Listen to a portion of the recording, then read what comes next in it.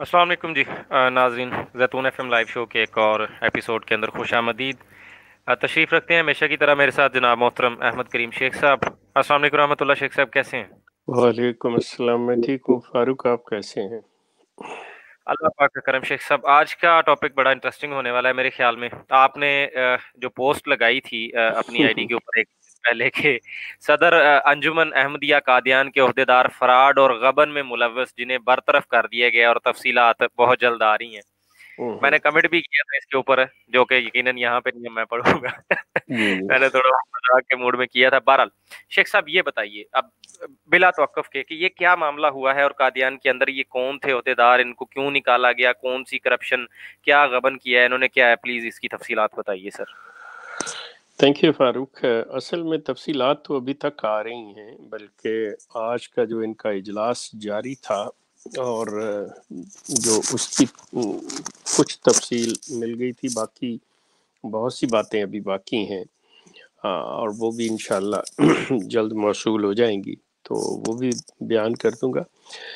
बुनियादी तौर पे ये जो बातें हैं, ये एक्चुअली मैं अहमदी हजरात से करना चाह रहा हूँ कि जो बेचारे अपने खून पसीने की कमाई चंदा की शक्ल में कि वो इसलिए देते हैं, वो समझते हैं कि वो इस्लाम की खिदमत कर रहे हैं, वो अल्लाह की राह में पैसा दे रहे हैं। लेकिन ये पैसा कहाँ जा रहा है, इसका मसरफ क्या है इसे कौन लोग इस्तेमाल करते हैं? जायज़ नजायज़?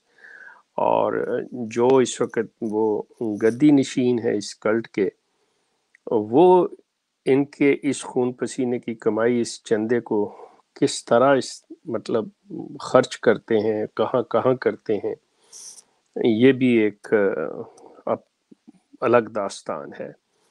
एनीवे anyway, ये चीज़ अहमदियों के लिए जानना ज़रूरी है कि देखें आप लोग जो हैं आप मतलब किसी दूसरे स्यारे की मखलूक नहीं हैं।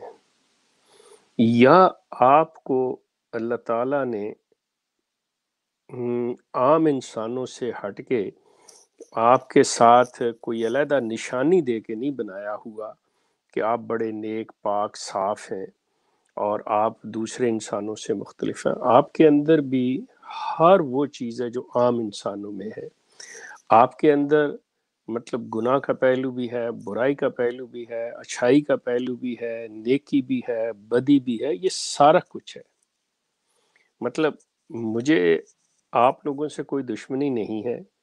मैं सच्चाई और हक चाहे वो किसी को पसंद हो या ना हो, बात आपके हक में जाती हो, लेकिन अगर वो सच है तो मैं कह दूँगा। और अगर वो बात सच है और बुरी है, मैं तब भी आपको बता दूँगा। मुझे इससे कोई सरोकार नहीं है। लेकिन ये जो आपको बताया ये इस चीज़ से खौफजदा है उनको ये है कि ये शख्स, वो उन्होंने मुझे अपने मुखालिफ के खाने में रखा हुआ है कि ये शख्स हमारी मुखालफत, हालाँकि मैं मुखालफत नहीं करता, मैं आगाही की अवेयरनेस की बात करता हूँ। और उन्हें ये पता है कि ये शख्स जो भी बात करेगा, बग़ैर तस्दीक के नहीं करेगा, बग़ैर हकीकत जाने नहीं करेगा तो लिहाजा वो डरते हैं कि इसकी बातों पे हमारे लोग जो हैं अहमदी वो यकीन करेंगे और हम लोग जो हैं, वो ट्रबल में आएँगे, उससे सवाल पैदा होंगे और इनके पास उसके जवाब नहीं होंगे। सिलसिला ये है कि ये शुरू दिन से, बल्कि अगर मैं यहाँ पे एक कोटेशन आपको दे दूँ, मुझे याद आ रहा है कि जो इस कल्ट के बानी थे आ जहानी मौसूफ ग़ुलाम अहमद कादियानी उन्होंने ये कहा था कि मुझे ये फ़िक्र नहीं है मुझे फ़िक्र ये है कि ये पैसा तो बहुत इकट्ठा होगा लेकिन मेरे जो लोग हैं वो इस पैसे को देख उनका ईमान ख़राब हो जाएगा वो उनकी नीयतें ख़राब हो जाएँगी मतलब ये मफहूम है उनकी बात का। तो अब उन्होंने पहले अब आप इनका ये कहना कि हम दूध के धुले हुए हैं या हमारे अंदर कोई ऐसी चीज़ नहीं है, जिस तरह के ये एक लेबल लगाते हैं हम, खुदाई जमात हैं, जमातें सारी खुदाई होती हैं, इंसान सारे खुदाई हैं। मसला ये है कि हर इंसान का फेल है, वो अपने कॉलो फेल पे चलता है। सो आप लोग अहमदी लोग, आप में अच्छे भी हैं, बुरे भी हैं आप में लोग। लेकिन सिर्फ़ ये कि आपके अंदर कोई ऐसा फोरम नहीं है, कोई ऐसा प्लेटफॉर्म नहीं है। आप लोगों ने किसी को आवाज़ उठाने की इजाज़त नहीं दी हुई कि आपके अंदर अगर कोई बुराई आ जाती है, कोई ऐसा गुना हो जाता है, कोई ऐसा जुर्म सरजद हो जाता है, आप किसी ऐसी चीज़ में मुलवस हो जाते हैं जो कि गैर कानूनी गैर इखलाकी होती है तो उसका पता बाहर दुनिया को नहीं चलता। आपने अपने गिर्द एक बड़ी आहनी दीवार खड़ी की हुई है। तो इसीलिए मैं आपको कल्ट कहता हूँ। अगर आप एक खुले मतलब हो, जिसे कहते हैं ना कि जैसे आप कहते हैं जी खुला शहर हो खुली फिजा हो, आप लोग एक खुली कम्युनिटी हो, जिसके अंदर मतलब कोई भी आके आपको देख सके, आपसे आपका हिसाब किताब अपने लोग ही पूछ सके तो यकीन करें आपकी असल तस्वीर जो है बड़ी वाज हो जाएगी कि आपके अंदर क्या अच्छाइयाँ हैं, क्या बुराइयाँ हैं। अब ये जो बात है जिस पे हम बात करने जा रहे हैं, इससे पहले मतलब ये सारा पैसे का गबन होता रहा है, मिर्ज़ा ताहर के दौर में भी होता रहा है। जब एम टी ए नया शुरू हुआ था, उस वक़्त भी इसके ऊपर इसके फंड्स में गबन हुआ था। और फिर मज़े की बात है कि ये मसरूर मियाँ के दौर में आके इसके बेटे के बारे में कहा जाता है कि उसने मतलब बड़ा ही लंबा चौड़ा हाथ आप इसलिए कह लें कि that was in sterling pounds के बरतानवी जो है पाउंड, उसके अंदर उसने हेरा फेरी, उसने माल गबन किया हुआ सारा कुछ। और ये मसरूर के इलम में भी है और जो टॉप लेवल के एम बीज हैं, उनके इलम में भी है। But anyway coming to the point to the Qadian के मामले में, इनके मैं आपको बता देता हूँ, नाम कुछ आ गए हैं सामने और जो बाज़ अप्रॉक्सीमेट उनके आए हैं कि इतने पैसों का इन्होंने मतलब हेर फेर किया है खुर्द बुर्द किया है, गबन किया है, वो भी, कि एक शुएब अहमद है, जिनके वालिद दरवेश बशीर अहमद काला अफगाना, ये मतलब गाँव का नाम है। ये अफसर जलसा सालाना भी थे और ये जो शुबा, सेहत है, या स्पोर्ट्स है उसके भी इंचार्ज और सदर रहे हुए हैं। और इनके बारे में बताया जाता है तफसीलात के मुताबिक तीस लाख रुपए की इन्होंने मतलब ये बदयांती और हेरा फेरी और गबन किया है।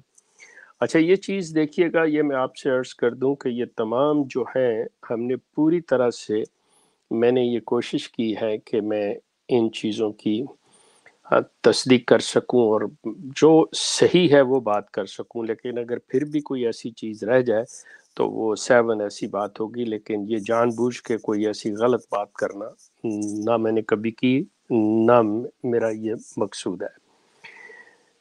फिर आती है बात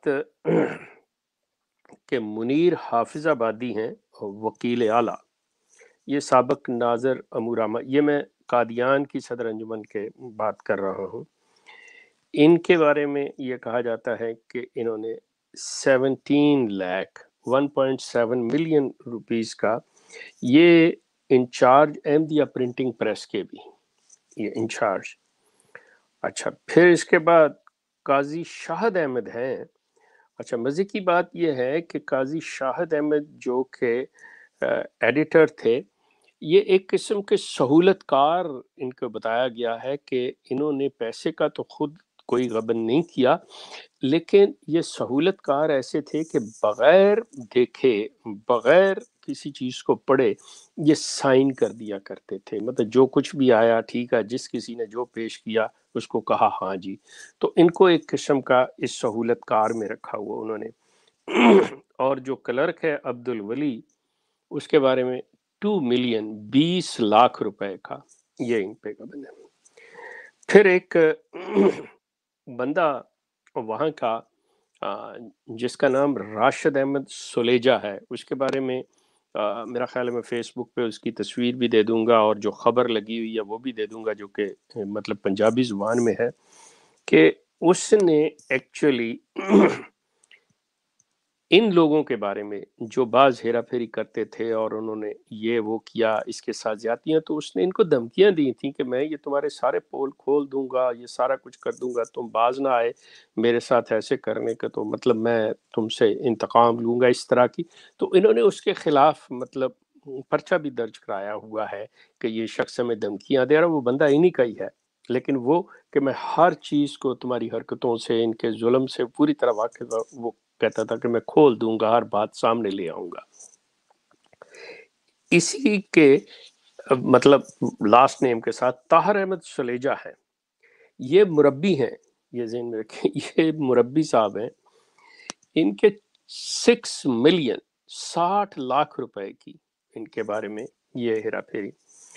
फिर एक अब्दुलरहमान खालिद साहब हैं, जो कि वली के भाई हैं, ब्रदर वली। ये मतलब निज़ामत खेल में थे और महासब भी थे। ये मतलब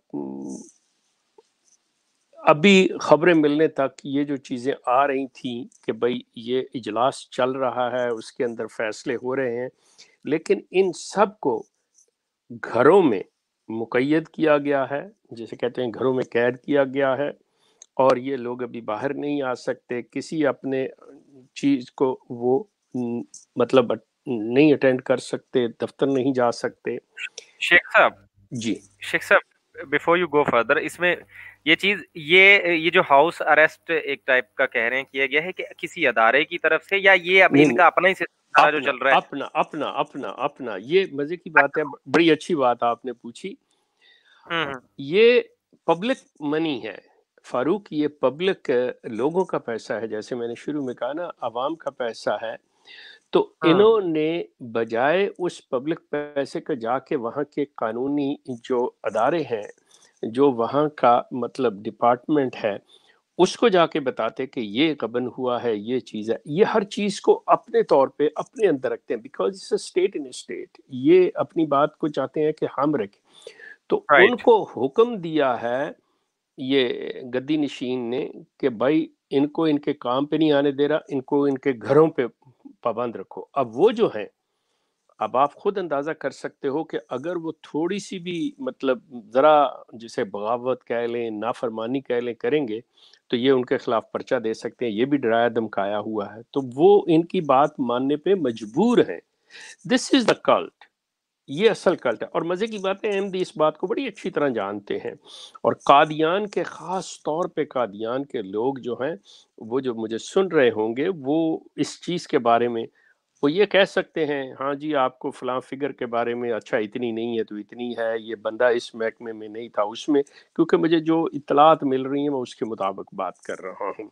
आपको यहाँ पे ये भी मैं बताता चलूँ कि ये इनाम गौरी साहब के बेटे ने भी एक वक़्त में जो कि वहाँ के नाज़र आला थे, उन्होंने भी ये सारा कुछ आ, बेटा उनका गबन में 2014 की बात है, तो उसको बड़ी मज़े की सज़ा दी थी। अब ये जेन में रखिए जैसे मैंने कहा ना हाउस अरेस्ट, अब उसको सज़ा क्या दी जा रही है? उसको सज़ा ये दी जा रही है कि तुम पचास हज़ार मरतबा इस्तग़फ़ार करोगे।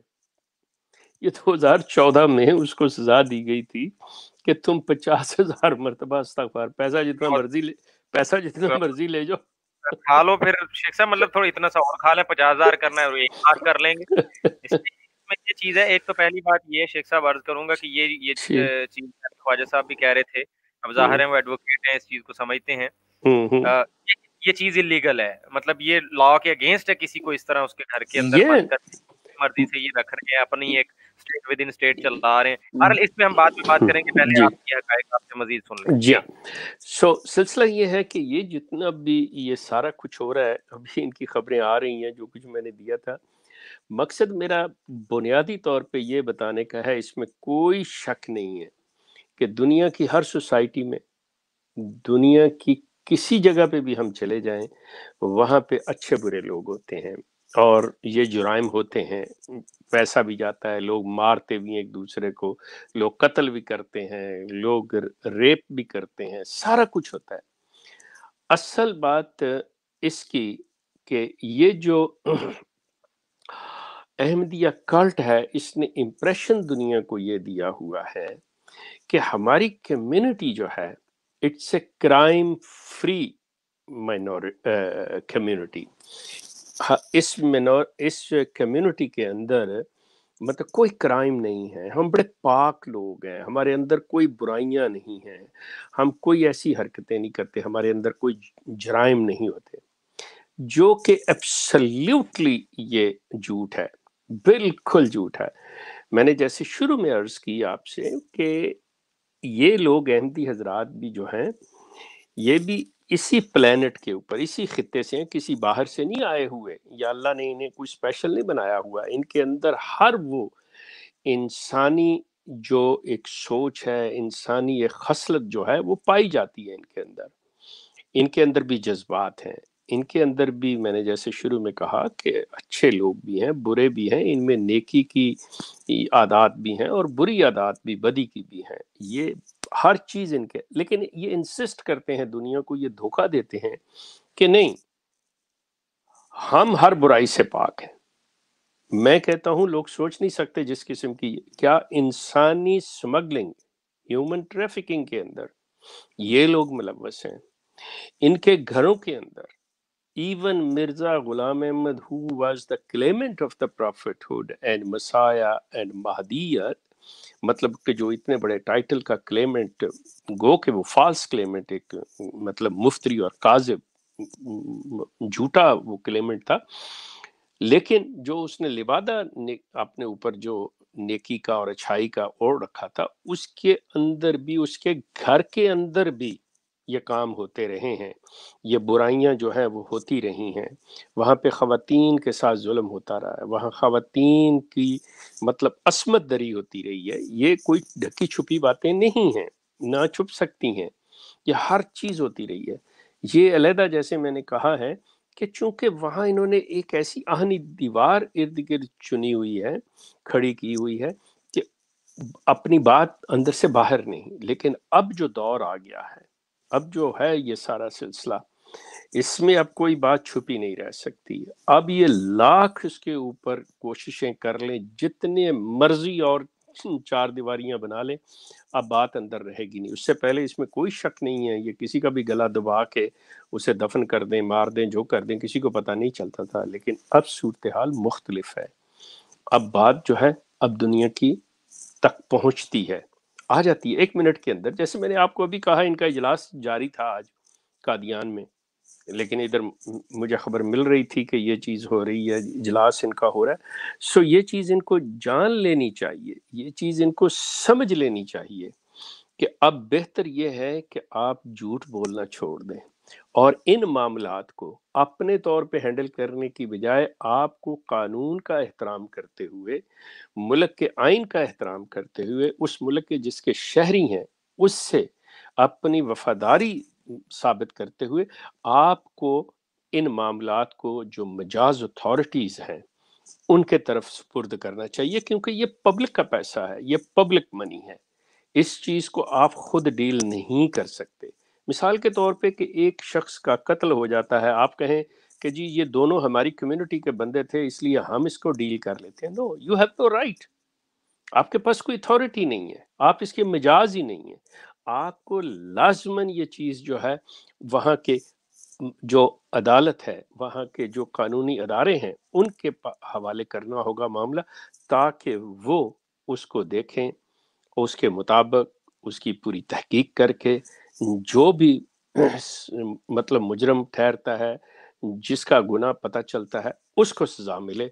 कोई किसी सिफारिश की बुनियाद पे, कोई किसी रिश्वत की बुनियाद पे वहाँ से भरी ना हो या किसी के साथ बेगुनाही में ज्यादती ना हो जाए। लेकिन ये लोग सिर्फ़ ये कहने का, इससे हम लोग बुरे बन जाएँगे। ओहो, मिर्ज़ा साहब के नाम पे मतलब दबा आएगा, मिर्ज़ा साहब का नाम बुरा होगा। लोग क्या कहेंगे? लोग ये कहेंगे, जी, ये लोग जो हैं ये कादियानी, मिर्जाई अहमदी ये बुरे लोग हैं तो हमारी बदनामी, ये अपनी सिर्फ़ उस सेल्फ जो अपने आप को रिस्पेक्ट है ना, उसको बचाने के लिए, चाहे वो कितनी ही स्याह हो लेकिन उसको बचाने के लिए ये इस किस्म की हरकतें करते हैं। अब अहमदियों को इस हवाले से भी आँखें खोलनी होगी, ये चीज़ें देखनी होंगी। अगर मैं बात कर सकता हूँ तो आप भी बात कर सकते हैं। ठीक है, आप नहीं करना चाहते तो मैं आपकी आवाज़ बनने को तैयार हूँ, लेकिन मेरी शर्त एक होती है कि बात मुझे सही बताई जाए। आप झूठ मेरे साथ ना बोलें, क्योंकि मैंने आपके बिहाफ पे बात करनी है। वो चीज़ करनी है तो मैं सही बात करना चाहता हूँ, मैं गलत बात नहीं करना चाहता। तो फारूक, ये जितने मैंने नाम बताए हैं, अभी और मतलब ये खबरें जो हैं, आ रही हैं, मज़ीद जैसे आती जाएँगी, मैं वो भी आपके साथ शेयर कर दूँगा। जी। ठीक जजाकल्ला शेख साहब, अब इस पहलू पे हम आ सकते हैं, जो मैं आपको थोड़ा सा उसमें कह रहा था, कि ये, हमेशा ये देखने में आया है कभी भी कोई मामला हो ये तो अब चले एक अभी की ताज़ा खबर है ना कि ये इस तरह इनके अंदर हो गया करप्शन ये मामला ये चलते रहते हैं। कोई भी मसला हो कोई छोटे से छोटा मसला हो या वो चाहे वो कितना बड़ा हो इनकी एक ये कोशिश होती है कि मतलब ये, ये कहते तो हैं हम रिस्पेक्ट और ये लॉ और दिस एंड दैट खैर पाकिस्तान के बारे में तो ये मुँह से कह, कह, कहता भी कहते भी नहीं है। और दिल से तो क्या रिस्पेक्ट करनी है। लेकिन अब देखेंगे इंडिया के अंदर है या और किसी कंट्री के अंदर है वहाँ भी ये ये चीज़ अपनी ये चलाते हैं कि मतलब लोगों को कानून नाफिज करने वाले अदारों तक नहीं जाने देते चाहिए। तो लोग पुलिस के पास जाएँ लोग अदालत में जाए जाके अपना मसला रखें क्योंकि आप आपके ये बाकी के ये जमात और ये वो ये आपके घर के मसले हैं स्टेट के लिए और खासकर अब इंडिया जैसा अगर कंट्री है तो वहाँ तो आपको अगर इस तरह का पब्लिक मनी के साथ कोई गेम करेंगे आप तो आपको आना चाहिए लॉ के सामने। शेख साहब वहाँ भी इन्होंने ये ये लगाया होता है अपना तमाशा विद इन स्टेट बनाई हुई है घर के अंदर अपना ही कानून लगा के बैठे हुए हैं। ये कर रहे हैं। ऐसे में हम थोड़ी देर बाद कॉल्स का ऑप्शन लेंगे। मैं चाहूँगा हमारे दोस्त भी आज इसके ऊपर राय दें। कानूनी हवाले। ये अगर ये, हम्म, हम्म, ये ये ये फारूक इस तरह से है आपने एक चीज़ नोट की होगी कि ये अक्सर जब बात करते हैं ना तो इनके लिए प्रॉब्लम सबसे बड़ा ये है कि ये कतई तौर पे इस चीज़ को मतलब नहीं समझते कि ये लोग जो हैं ये जिस मुल्क में रहते हैं उसके शहरी ये पहले हैं और बाद में आप आ, आपका जो अकीदा जो क्योंकि उस मुल्क के अंदर और भी बहुत से लोग जो हैं बसते हैं मुख्तलिफ़ मज़ाहब के लोग। आप मतलब बतौर अहमदी कादियानी मिर्ज़ाई जो भी नाम आप दें वो बाद में है लेकिन सबसे पहले आप पाकिस्तानी हैं सबसे पहले आप हिंदुस्तानी हैं सबसे पहले आप बरतानवी हैं या कनेडियन हैं। अब इनकी बदकिस्मती ये है कि ये लोग उस मट्टी को उस वतन को ये कोई अहमियत मिसाल के तौर पे बात करेंगे जी जफरुल्ला खां अहमदी। ओ ओ मियाँ। ओ जफरुल्ला खान जो था वो पाकिस्तान का वज़ीर खारजा था। जफरुल्ला खान पाकिस्तानी था। जिस वजह से ये सारा अब्दुल सलाम जो साइंटिस्ट था या नोबेल प्राइज विनर था वो पाकिस्तानी था। अब उसको अहमदी कह के तुम लिमिटेड कर रहे हो तुम ये बताना चाह रहे हो क्या दुनिया में कहीं पे भी आज तक आपने जो सुना है कि किसी ने ये कहा हो कि जी अच्छा जी ये ये अपने तौर पे अंदर की बातें होती हैं लेकिन दुनिया जो इंटरनेशनल लेवल पे है वो मुल्कों के हवाले से चलते हैं। वो ये नहीं देखते यहाँ पे देखें और भी अकलीतें रहती हैं। अब यहाँ मैं फॉर एग्ज़ाम्पल मसीही बरादरी की मैं बात कर लेता हूँ क्रिश्चियंस हैं हमारे साथ ही रहते हैं यहाँ पे इवन मेरे तो कुछ मतलब। इंतहाई करीब दोस्त भी मेरे साथ पढ़ते भी रहे मैंने उनको देखा है वो लोग कुछ भी कोई काम करेंगे कुछ भी तो वो कहेंगे यार हम पाकिस्तानी हैं हम अपने मुल्क के लिए कर रहे हैं पाकिस्तान के लिए वो दुआएँ भी करवाते हैं अपनी इबादत ये वो अच्छा। ये कोई मतलब ऐसी ढीठ मट्टी की बनी ये चीज़ें कहूँगा मैंने एक दो एक दो दिन पहले भी यही चीज़ अर्ज़ की थी कि हम्म। मतलब एटलीस्ट जो आपकी मदरलैंड है आपको आप जहाँ शेख साहब पैदा हुए आपको इस वतन ने पनाह दी आप आप आप खाते हैं पीते हैं यहाँ का फिर प्रोटेक्शन आप स्टेट से लेते हैं आप आप सारा कुछ जनाब यहाँ पे कर रहे हैं आप उसको इतना भी नहीं मतलब इतना भी दिलों के अंदर इतनी नफरत भरते हैं लोगों की कि उसको कुछ समझते ही नहीं है और हम्म।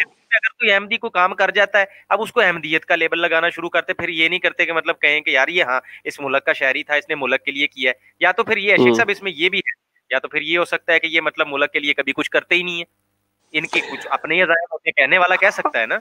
हाँ कहने वाला कैसे लेकिन टू बी ऑनेस्ट मैं आपको एक छोटी सी बात बताऊँ कि जफरुल्ला खान ने और अब्दुलसलाम ने कभी भी अपने मुँह से नहीं कहा कि हमने जो खिदमत की है बतौर अहमदी की है। वो यही कहते थे कि हमने बतौर पाकिस्तानी खिदमत की है। To be honest with you I know these people personally कि वो हाँ। जो लोग हैं वो उन्होंने इसी तरह मतलब मैं आई वाज आई थिंक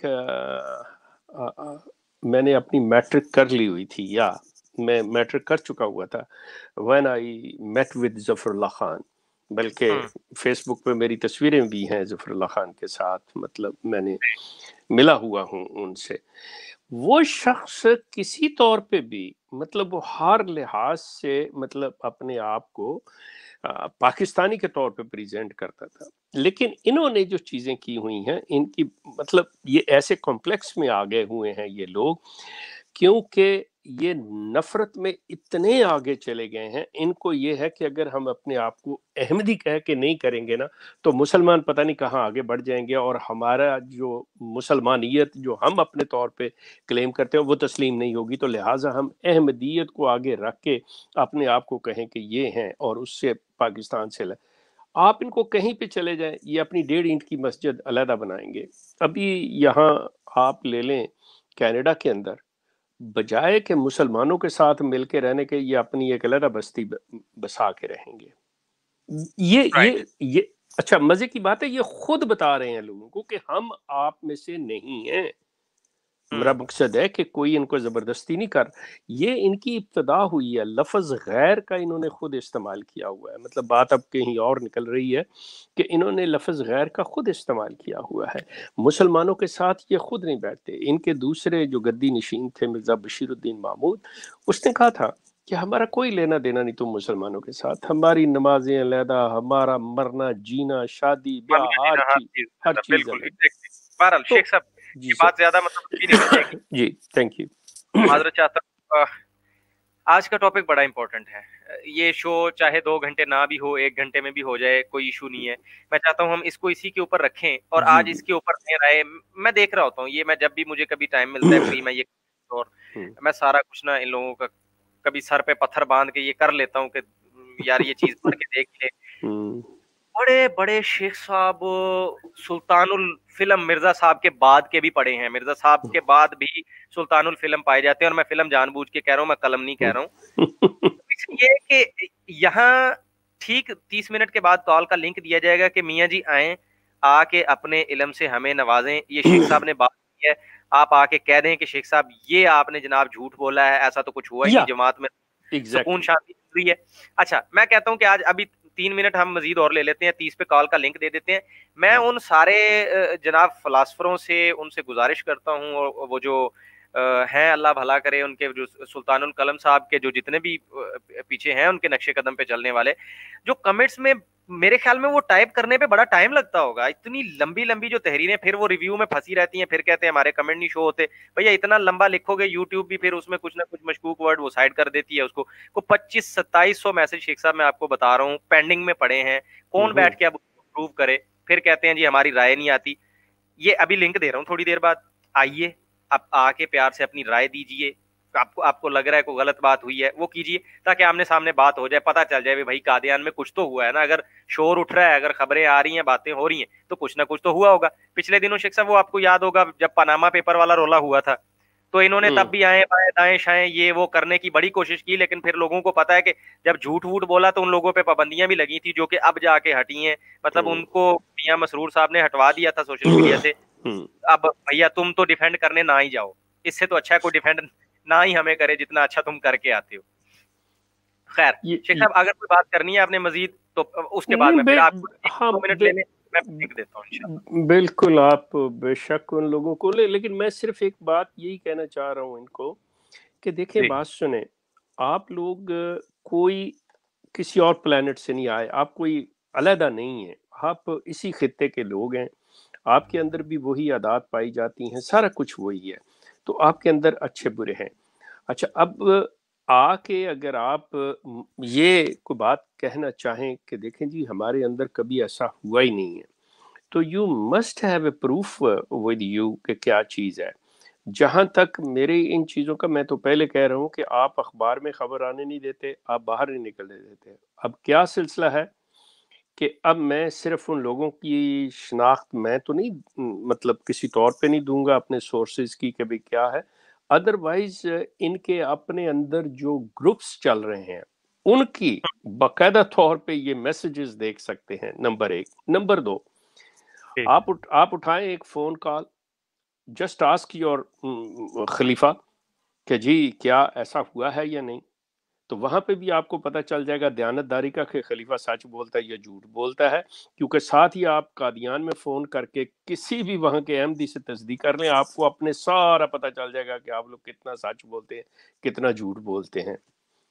तो फिर जब एक जब एक तरफ़ से आ जाए वो नहीं तो फिर मुझे बता दीजिएगा मैं वो लोग मैं वो लोग जिन्होंने कुछ किया हुआ मैं उनसे आपकी बात करा दूँगा जो कहेंगे हाँ जी हमसे जी ये हो गया जी हाय हम हमसे जी सॉरी जी हाँ ये हो गया वो हो गया। I do have all these things with me right okay ji thank you so much ये लास्ट स्क्रीन के ऊपर नंबर शेख साहब का बाद में तसली तशफी करनी हो तो इसके ऊपर भी कर सकते हैं अगर हो तो। बहरहाल जैसा कि मैंने कहा बड़ा इंटरेस्टिंग टॉपिक है। वंस अगेन ये पनामा पेपर्स के बाद आज एक और लीक हुई है कादियान में जनाब काम डाल दिया है चंदाखोर मुरबियों ने। और मिलियंस की गेमें हैं और ये ये चल रहा है जनता का पैसा है ये आप लोगों का ये अच्छा मैं फिर से मतलब डिस्क्लेमर शेख साहब अपनी ज़ुबान से ही कि ये जो मैंने कहा अभी सुल्तानुल फ़िल्म और ये वो ये उनको कहा है जो डिजर्व करते हैं वो करते हैं ये हरकतें हैं और ये लंबी लंबी करते हैं। मैं आम ये पब्लिक को बिल्कुल नहीं कह रहा हूँ। घरों में बैठ के जो सुनते हैं लोग हमारी माएँ बहनें बेटियाँ भाई हैं जितने भी लोग हैं बाकी इसी तरह अहमदी नौजवान है जो भी सुनते हैं ये उनको हरगिज नहीं है। वो भी खैर समझते हैं इस चीज़ को कि हमारे मुखातिब कौन है। और आप देख लेंगे कोई एक आधा आएगा भी सही। शो एंड होने से ना दो चार मिनट पहले वो आएगा भी। वो ज़िम्मेदारी पूरी अपनी करके जाएगा। बहरहाल आज हम्म। देखते हैं। इंटरेस्टिंग है मेरे लिए हम्म। कि शायद आज क्या होंगे रवैये। किस तरह पहले कॉलर हमारे साथ असीब ख्वाजा एडवोकेट साहब होंगे। अस्सलाम कैसे हैं? अस्सलाम वालेकुम। Sheikh Sahab Farooq. Really it was a very interesting topic और मैंने आपके फैक्ट्स सुनना शुरू हुआ तो मैंने पीपीसी खोल के मैं सेक्शन देखने लग गया। अच्छा। उसी मतलब ये तो ऑफेंसेस कमिट हुए हैं ना सिर्फ़ इनके वो जो भी अहदेदारान है उनके उनसे बल्कि कादियानी जमात से भी। हम्म। जमात से भी ऑफेंसेस कमिट हुए हैं। हम्म, हम्म। अब एक बात ज़िक्र किया इसका कि उनको रेस्ट्रेन कर दिया गया इनको अपने कंफर्म हाँ कर दिया गया। That is a in penal terms it was it is it is called in uh, uh, Pakistan Penal Code. It, this this offence is a wrongful confinement. Hmm. It's punishable under section 341 PPC for one year. And if this wrongful confinement continues, अगर ये तीन दिन से ज़्यादा ये offence हो जाता है तो इसकी सजा दो साल है वाह मतलब तो अगर ये इन... अगर ये तीन दिन तक उनको उनके घरों के अंदर पाबंद रखते हैं तो जी हाँ पाबंद रखते हैं तो ये दो जो जो पाबंद रखता है पाकिस्तान के हवाले से बता रहे हैं ना मेरे ख्याल में आप। एग्जैक्टली इंसिडेंटली आईपीसी में भी यही कोड है।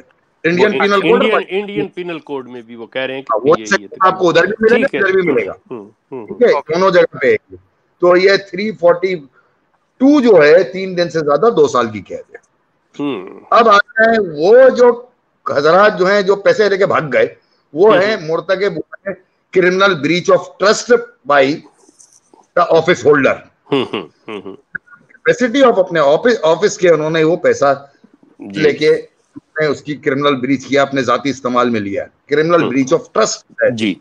हम्म, है सेक्शन 406 पीपीसी या आईपीसी इंडिया में भी है पाकिस्तान में भी है। सात साल कैद है इसकी सजा अब ये तो वो है। अब जनाब इंटरेस्टिंग बात ये है शेख साहब जो आपने बताया कि previously such an offence was committed by somebody और उनको कितने पच्चीस हज़ार मरतबा पचास हज़ार अस्तगफार की सजा दी गई थी जी।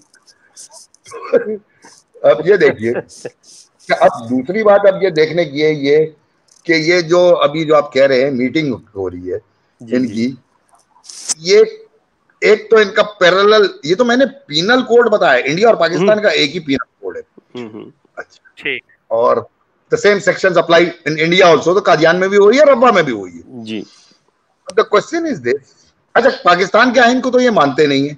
इंडिया के आइन के मुतालिक क्या ख्याल है? क्वेश्चन यही पीनल ऑफेंसेस वहाँ पे भी कमेंट किए गए हैं तो आप कहते हैं कि हम पाकिस्तान का आइन को नहीं मानते हम पाकिस्तान की अदालतों को नहीं मानते हम नहीं जाएँगे उधर हम अपनी कजा में जाएँगे। आपकी कजा तो पच्चीस हज़ार मरतबा उसको इस्तफार करती है। अब इंडिया के अंदर क्या पोजीशन है? पब्लिक मनी है। आपने क्या किया? आपके इलम में यह बात आ गई। अब सुनिए। उसने चोरी की क्रिमिनल ब्रीच ऑफ़ ट्रस्ट किया। इधर अहमदिया जमात को पता चल गया कि उसने किया हुआ है। अब वो जाति नहीं है। दैट इज़ एन अबेटमेंट अब जिस आदमी को भी अहमदिया कल्ट में से पता चलता है कि ये हुआ हुआ है और वो उसकी एफ़ आई आर कटवाने के लिए नहीं जाती है स्टेट के पास अब यहाँ पे तो भाई पाकिस्तान के आइन को मानते नहीं हो क्यों नहीं जाते आप इंडिया के? देखो पब्लिक मनी है। आपका पैसा नहीं है ये। ये पब्लिक का पैसा है, हम्म, हम्म। उसकी एफ़ आई आर आपने लॉन्च करवानी है। चार सौ छह पीपीसी में सात साल के लिए भेजना है।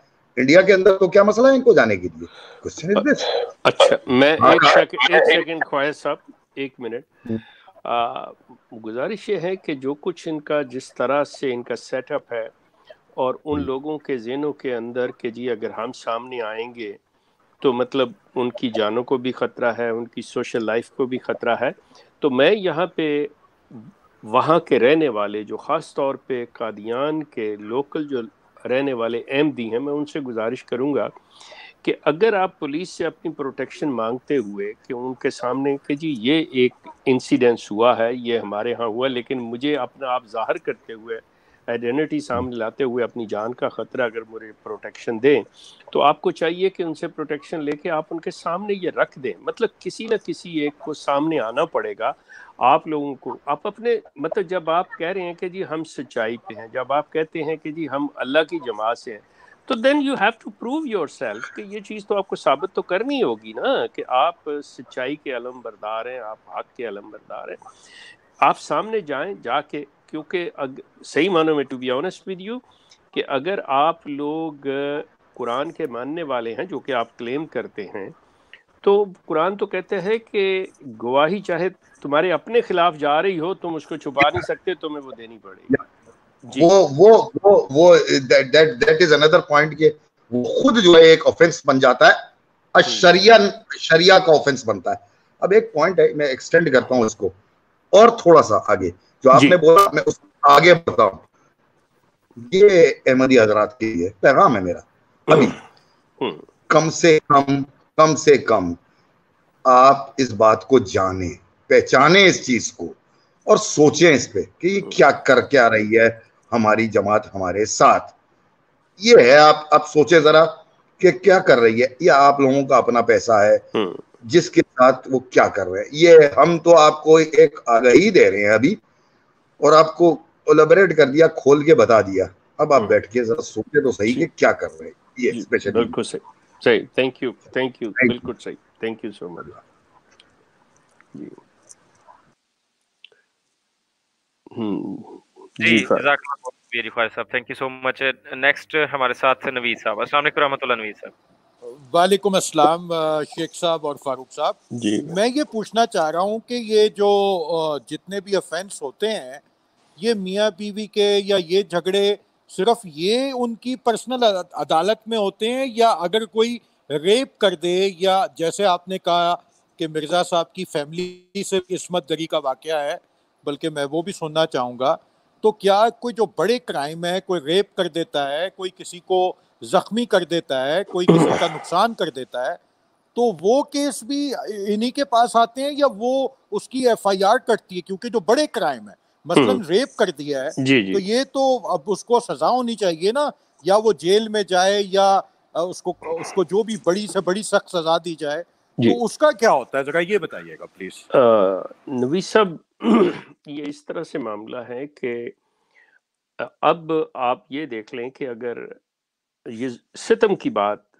जुल्म की बात लेकिन आप इनकी होशियारी और इनकी चलाकी ये देखें कि इन ममालिक में वेस्टर्न कंट्रीज़ के अंदर रहते हुए भी इन्होंने अपने लोगों को किस तरह से मतलब जकड़ के रखा हुआ, किस तरह से कंट्रोल करके रखा हुआ। बाहर जो लोग अपने आप को पढ़े लिखे और बड़े लिबरल और अपने आप को बड़े वोकल कहते हैं, लेकिन जब इनकी कम्युनिटी के अंदर आपस में ये मामला होता है तो वहाँ आके इनकी तमाम शराफत, तमाम जहानत, तमाम ताकत जो है वो बेबस हो जाती है। वहाँ पे आके ये लोग बिल्कुल एक बुत की शक्ल इख्तियार कर लेते हैं।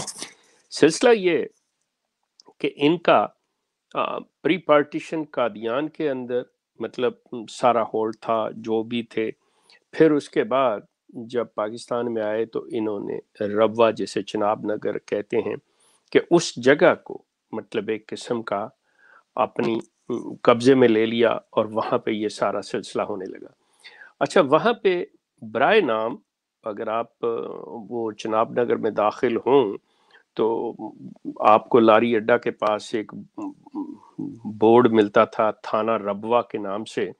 तो वहाँ पे कोई एक जो भी सब इंस्पेक्टर या असिस्टेंट सब इंस्पेक्टर बैठा हुआ, एक अर्दली बैठा हुआ नज़र आ जाता था, उसका कोई काम नहीं था।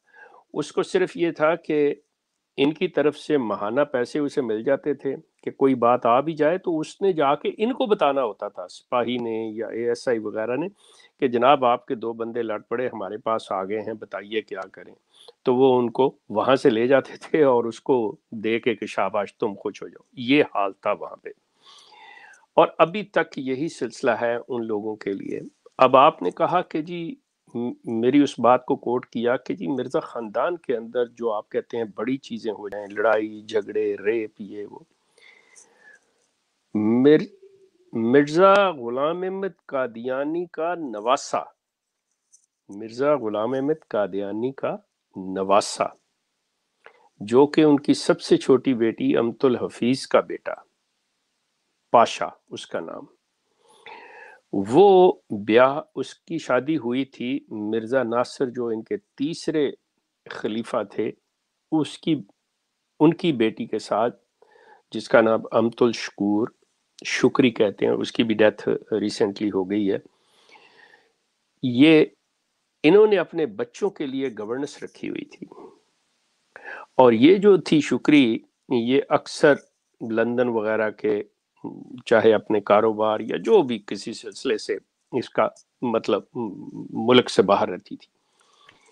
इसके मियाँ ने, जो कि नवासा है मिर्ज़ा गुलाम अहमद का, उसने बच्चों की गवर्नेंस को प्रेग्नेंट कर दिया।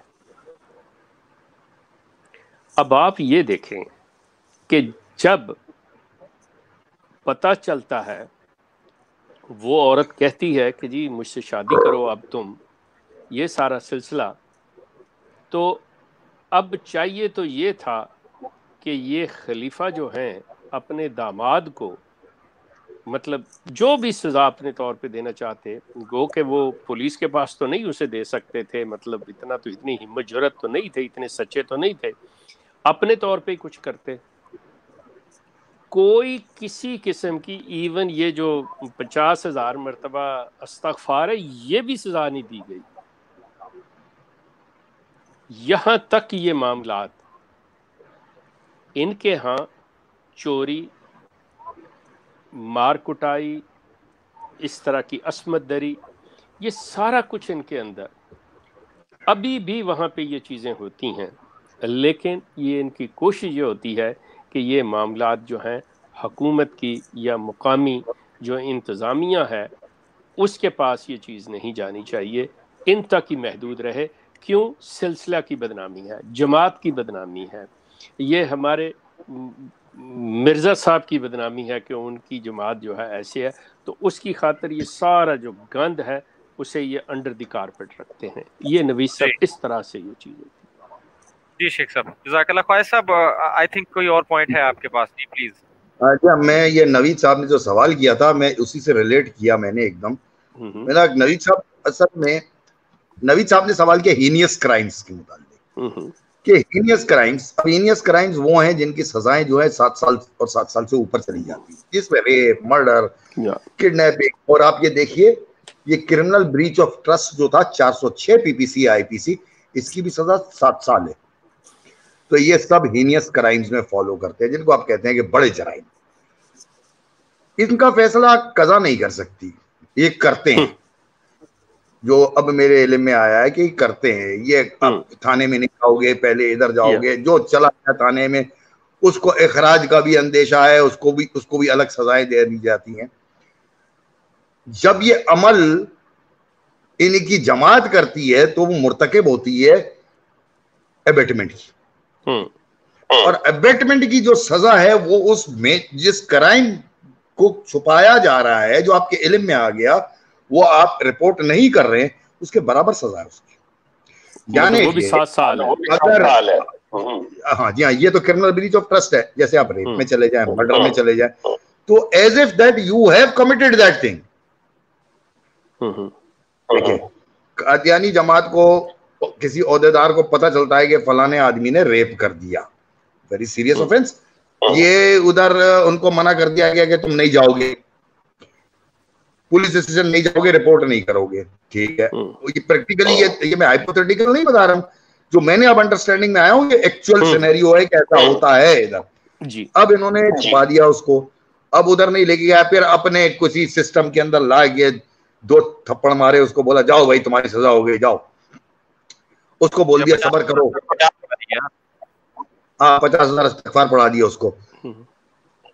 They have in fact abetted that crime now equally liable for the penal consequences अगर उसने जिना किया तो जिसके इल्म में बात आई वो उसने भी जिना किया। I am talking about the law of the land that is abetment उसको भी वही जाएगी क्योंकि वो रिपोर्ट नहीं कर रहा है उसको। उसको तो छुपा रहा है इसको।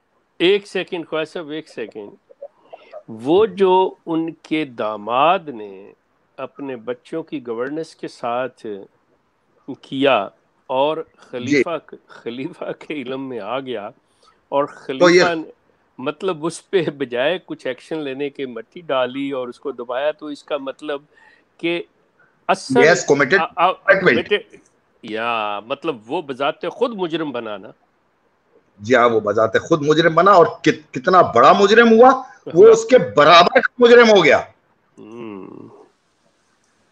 ठीक है? अब आप मेरा वही पॉइंट मैंने आपसे अर्ज़ किया था पहले जी, जी. आप पाकिस्तान के आइन को तो मानते नहीं हो लेकिन रब्बा कादियान जो है वो तो इंडिया के अंदर है। वहाँ अगर हम्म। ये चीज़ होती है और होती क्या है? देखें बात यह है कि इंसानी सिविलाइजेशन जो है ह्यूमन सिविलाइजेशन क्राइम उसका हिस्सा है। कोई भी कोई भी सोसाइटी कोई भी ऑर्गेनाइजेशन कोई भी इंसानों का ग्रुप जो है क्लेम नहीं कर सकता कि हम इससे आज़ाद हैं। वो है और हीनियस क्राइम्स का जैसा अभी मैंने बताया जी। अबेटमेंट क्या उसका एक सिस्टम है हर दुनिया के हर जगह पे एक सिस्टम है। पता नहीं भाई इनका काज कजा का क्या सिस्टम है? ये पचास हज़ार अच्छा अच्छा कजा के बारे में अर्ज़ कर दूँ ये ख्वाहिश बड़ी इंटरेस्टिंग बात ये है। कि मिसाल के तौर पे दो फ्रीकों को बुलाया जाता है ना तो उसमें जो डिफेंडेंट है मतलब डिफेंडेंट को कतई कोई राइट नहीं है कि वो अपना लीगल एडवाइजर लेके आए या अपना मतलब कोई भी काउंसिल लेके आए। अभी ये भी बड़ी इंटरेस्टिंग बात है। यानी कि वो अनडिपेंडेंट है। इल्ज़ाम पे लगाया जा रहा है सबूत उसके खिलाफ लाए जा रहे हैं और वो उसको डिफेंड नहीं कर सकता। और उसको किसी तो, कानून का नहीं पता कि जिसके कजा के तहत आप कर रहे हैं कि ये क्या है मेरा राइट क्या है या मैं क्या कह सकता हूँ क्या कह ये क्या है? मतलब उसे कुछ नहीं। देखें लीगल काउंसिल लाने का तो यही मतलब होता है ना कि ये जो मेरे पे एलिगेशन है कि भाई वो उससे मैं अपना डिफेंस कैसे रहा है या मेरे ऊपर इसकी क्या चीज़ें आ जाएँगी लाइबल मैं किस चीज़ का बनता हूँ वो तो उसका लीगल मतलब लॉयर उसका बता राइट है उसका। और कॉन्स्टिट्यूशनल राइट और दुनिया के हर कॉन्स्टिट्यूशन के अंदर मौजूद है एक। दूसरी बात यह कि शराब में भी मौजूद है। हम्म। तो अच्छा अब तीसरी बात यह हर शरीयत में मौजूद है। अब यहाँ पे हम्म। मैं फिकही इस्लाम की बात नहीं कर रहा हूँ। फ़क़ इस्लाम में हर फिका के अंदर मौजूद है। ईसाइत में मौजूद है ईसवी शरीयत में भी मौजूद है। और हमारे जुडाइज्म में भी मौजूद है। इनके पास नहीं है। ये अब आपने एक नई एक नहीं मैं एक और नई चीज़ दे देता हूँ आप। अब एक और नई चीज़ दे देता हूँ।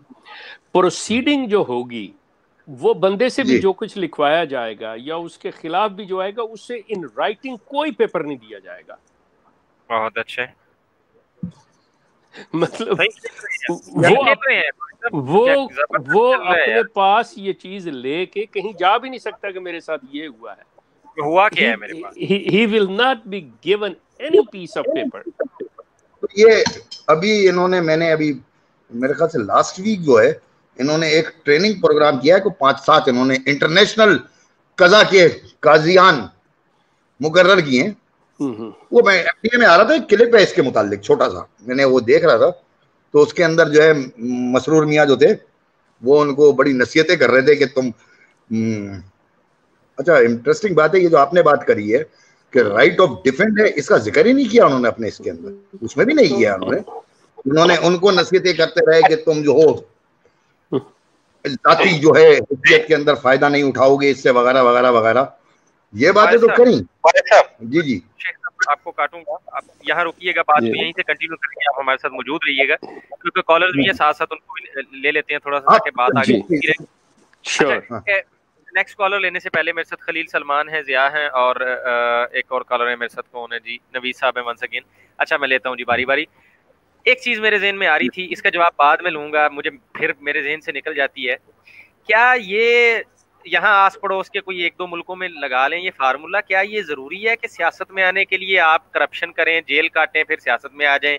और क्या इधर भी सेम अप्लाई कर, होता है शेख साहब के कोई धंधा करें जेल जाएँ और फिर वहाँ से डायरेक्ट खलीफा लग के तो बाहर निकल जाएँ? इसका जवाब बाद में चाहूँगा आपसे। अच्छा ठीक है। रहते हैं खलील अस्सलाम जी। जी अस्सलाम वालेकुम। वालेकुम। अस्सलाम जी Sheikh Sahab I just wanted to let you know that because of you because of your videos I have when I was in high school I started to research this cult ये मैं मैं मुझे बचपन से पता था ये कुछ गलत है क्योंकि हम जब छोटे होते थे इधर कनाडा में when we were younger we were always taught के हम सारे मुसलमान हैं हमें और सुन्नियों में दूसरे फिरकों में हमें कोई फ़र्क नहीं है। तो शेख साहब मैं आपको सिर्फ़ ये बताना चाहता हूँ कि ये जमात एक एक इल्यूजन है। ये ना बाहर कुछ और दिखाते हैं और अंदर कुछ और होता है। और स्पेशली ये जो यूथ है शेख साहब ये यूथ को ना एक, एक तरह का ब्रेन वॉशी जैसे नाची कैंप हिटलर यूथ ट्रेनिंग करते थे शेख साहब। वो उनके उनके बास्केटबॉल कैंप्स होते हैं उनको यूथ को एक ज़रिया देते हैं उनको एक ब्रदरहुड दे देते हैं। जिस तरह से वो अटैच रहते हैं। तो जब उन उनकी उनके दोस्त जैसे मैं हूँ मैं छोड़ के चला गया अभी मुझसे मेरे दोस्त कोई बात नहीं करते। क्योंकि वो, वो मुझे मुझे बेसिकली उन्होंने बेइंतहा मतलब they they kick me out of their life and you know it's hard to explain to your family that this is a cult this is a brainwashing cult. और ये जो खलीफा उधर बैठे हुए सूखा खलीफा इन्होंने ना ये बेसिकली एक बिज़नेस ऑर्गेनाइजेशन है और एक रिलीजियस ऑर्गेनाइजेशन पोज कर अच्छा, रहे हैं। अच्छा खलील एक मिनट बेटा बात सुनो। क्या ये क्या ये मुमकिन है जैसा आप कर रहे हो मुझे आपसे ये अंडरस्टैंडिंग मिल रही है कि आप कनाडा के अंदर हो और आप अहमदी फैमिली से ताल्लुक रखते हो। इज़ दैट राइट जी शेख साहब जी शेख साहब बिल्कुल बिल्कुल। ओके ये फारूक अभी आपको मेरा नंबर देंगे। आ, जी। मैं ये आपसे कहूँगा कि आप मेरे साथ इस नंबर पे कांटेक्ट करें। जी. और why not I I will bring to you कि आपको यहाँ पे आके बाकायदा तौर पे मतलब एक प्रोग्राम में मैं आपसे इन चीज़ों पे बात कर लूँ। क्या ख्याल है? Are you okay with that Sheikh Sahab I am okay as long as I remain anonymous because मुझे इन लोगों से बड़ा डर लगता है शेख साहब। नहीं सच बताऊँ। देखिए बात सुने। अभी जो आप बातें कर रहे हैं आप बिल्कुल इसी तरह लेकिन मेरी सिर्फ़ एक रिक्वेस्ट होगी जी। जी आप जो भी बात कहेंगे क्योंकि आपके पास अल्लाह ताला ने ज़मीर और जहन दिया है। आप उस पे रह के आप सही बात करेंगे गलत नहीं करेंगे। बाकी जैसे अभी आपको ये अगर नहीं जान सकते तो वैसे तब भी नहीं जान सकें। मैं आपसे आपकी कोई कोड आपका कोई घर का नंबर या ये वो कोई चीज़ नहीं पूछूँगा। सिर्फ़ इस चीज़ों के बारे में ये जो आप अभी बात करें यही हमारी बातें होंगी। Is that okay? Sure. Is that yeah, okay? I, I, this is a totally, I, uh, this, this is a great ball, Sheikh Saab, and uh, oh. I want to thank you. Okay. For, uh, no, no, I'm really thankful to you. Thank you so much. तो आप ऐसे है कि ये number मेरा आप note कर लें और प्रोग्राम के बाद प्लीज़ कॉल मी ठीक है क्योंकि मैं आपका नंबर यहाँ नहीं ले रहा आप मुझे इस नंबर पे कॉल कर लीजिएगा तो इनशाला we will arrange an interview ठीक है? नो प्रॉब्लम ठीक है शेख साहब. थैंक यू बेटा जी. Thank you so much okay okay thank you so much जजाकल्ला खलील साहब इंशाल्लाह hope to see you soon on Zaitoon FM next we have Naveed Sahab दोबारा आए हैं. शायद वो कुछ सवाल करना चाह रहे हैं. अच्छा नवीद साहब मैं अब दो दो आईडी से हैं. आई डोंट नो कि कौन से नवीद साहब हैं. अच्छा जी. जी नवीद साहब अस्सलाम वालेकुम रहमतुल्लाह. हेलो मेरे ख्याल से दूसरी आईडी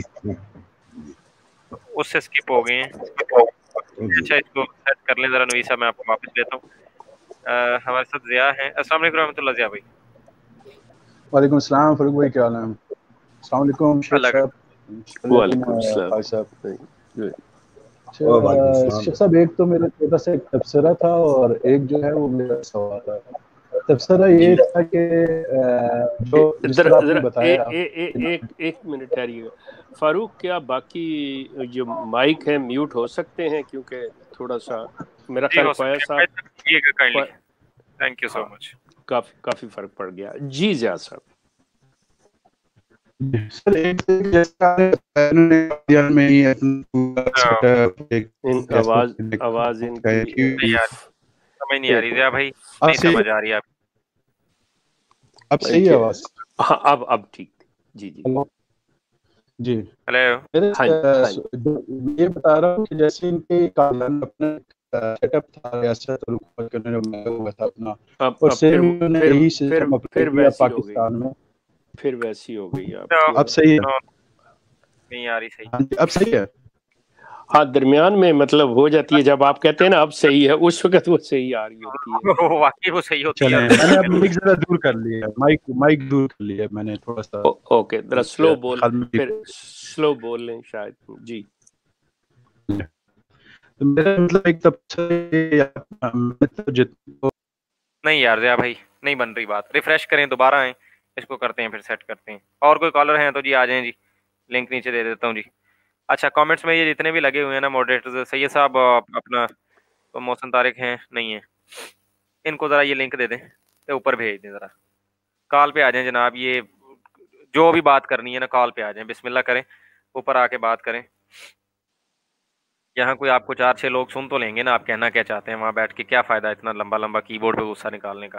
कॉल पे आ जाइए प्लीज़ जया भाई, आप रिफ़्रेश करके आइए, आप अभी यहीं पे ही हैं, इसको लीव कीजिए एक बार, मैं आपको कर देता हूँ यहाँ से किक अब दोबारा इसको करके आइए सेट करके आइए। जी बिल्कुल। कमेंट भी आ रहे हैं कि आपकी जो है ना वॉइस डिस्टर्ब थी। नवीद साहब आप भी चले गए हैं मेरे ख्याल में ख्वाजा साहब से कोई सवाल करना चाह रहे थे। अच्छा शेख साहब मैंने जो सवाल पूछा था मुझे जरा उसके ऊपर फरमाइए हम्म। बताइए। ये क्या धंधा चल रहा है कि पॉलिटिक्स में एक बंदा वो कोई पहले को कांड करता है वो जेल जाता है वापस आके वो बताता है मैं तो वो जी मैं कुर्बानी दे हूँ जी दस जेल में काटे हैं अब दो मुझे वोट और मुझे सर पे बिठा लो। इधर एक बंदा है वो रेप केस में अंदर जाता है और बाहर आता है और खलीफा बन के बैठ जाता है ये क्या सीन है ये? नहीं पता नहीं आप किसकी वो खलीफा का दामाद था। मतलब हाँ इन पे भी तो चले हुए हैं ना शेख साहब केस के, गए तो हुए हैं अब सच्चे झूठे हाँ, जो भी है लेकिन अच्छा हाँ। तो जेल ने भी काटे हुए हैं ना। हाँ नहीं मेरा मकसद ये है कि हाँ वो दूसरे खलीफा पे लगे हुए हैं एलिगेशंस ये। पहली चीज़ तो ये है कि सियासत में पाकिस्तान वगैरह की सियासत में या हिंदुस्तान की सियासत में जे, जेल जाना ज़रूरी है।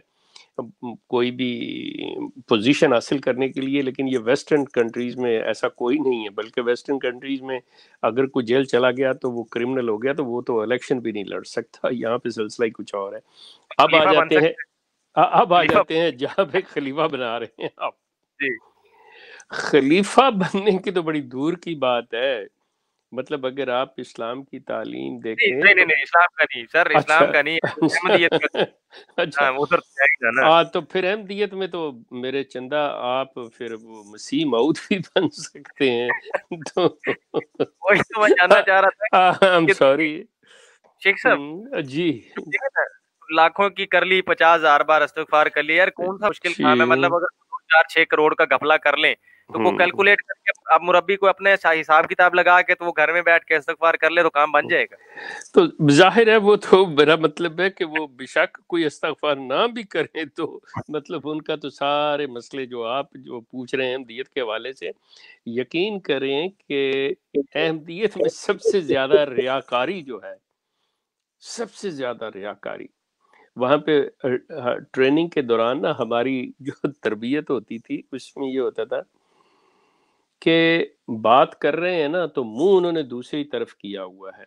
और हमें ये होता था कि जी तुम खुद बात को समझ लो।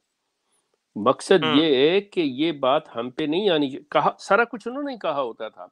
लेकिन जब हम कहते जी अच्छा ये मतलब है तो उस पर उनका मतलब थोड़ा सा चेहरे का जो फेस इंप्रेशन है बदल जाता है कि ये मुझसे तस्दीक क्यों करवा रहे हो? तो एक बात हो गई तो ठीक है।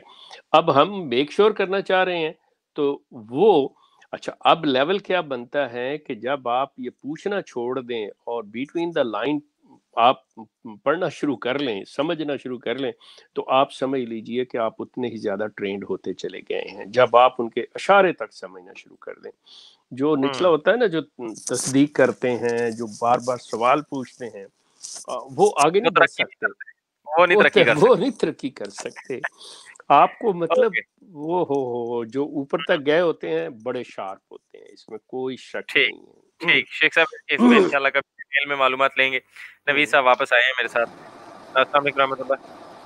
वालेकुम अस्सलाम। मैं ख्वाजा साहब से ये पूछना चाहूँगा कि ये जो है वकील तफ्शीश और गवाह ये क्यों ज़रूरी होते हैं और आप वकील के ऊपर बड़ा चौंके थे? तो ज़रा प्लीज़ इसके ऊपर भी ज़रा रोशनी डालें कि ये कोर्ट में ये सारी चीज़ें ज़रूरी क्यों होती हैं?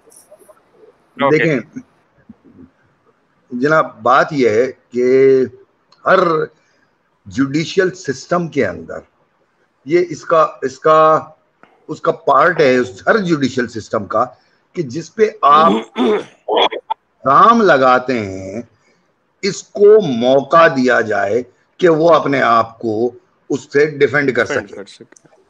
ठीक है? और कोई जुडिशियल सिस्टम कायम नहीं होता जब तक के ये मौका ना दिया जाए। अगर आप हदीस की रोशनी के अंदर कुरान की रोशनी में भी इसको देखेंगे तो आपको देखेंगे कि जब बिल्कुल क्लियर टर्म्स में बोलता हूँ जब हजूर सल्लम की अदालत लगती थी जब वो जुडिशियल ऑर्डर करते थे तो उनकी हर ऑर्डर के अंदर पूरी अपॉर्चुनिटी दूसरे शख्स को दी जाती थी कि वो अपने आप को डिफेंड करे। और ये इंसानी तारीख का हिस्सा है कि इस तरीके से ये जुडिशियल सिस्टम कायम किया जाता है। अब ये अदालत, वकील, गवाहान केस प्रॉपर्टीज़ ये सब जो हैं, उसी का एक मैकेनिज्म है। Right now which has been developed एक सिस्टमेटिक मैकेनिज्म डेवलप किया। अच्छा इंसिडेंटली एक हिस्टोरिकल नोट भी मैं आपको देता हूँ कि ये मैकेनिज्म डेवलप करने की इब्तदा जो थी वो हज़रत फारूक आज़म रज़ी अल्लाह ने की। ये शेख साहब आपका माइक म्यूट पे है गालिबन अच्छा। तो ये जो कारनामा था ये उनका था कि जिन्होंने तफरीक की दीवानी और फौजदारी में सिस्टम डेवलप किया कि दोनों के काजी अलग हो जाने चाहिए दीवानी और फौजदारी मुकदमात के। उनको बाइफरकेट किया ये हज़रत उमर फारूक रज़ी अल्लाह ने किया। और ये इंग्लिश सिस्टम ने अडॉप्ट किया उसको उस उसी उसी हम्म। उसको।